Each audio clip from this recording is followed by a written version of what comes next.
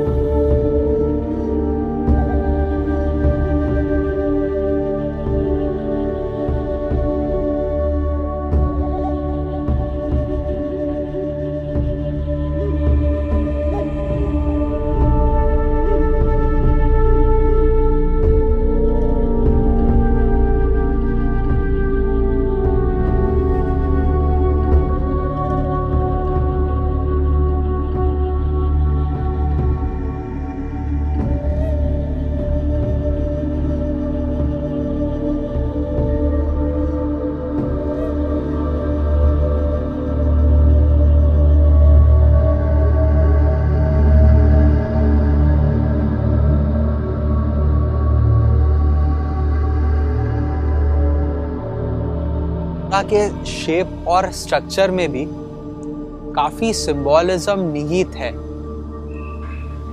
ये भी एक अपना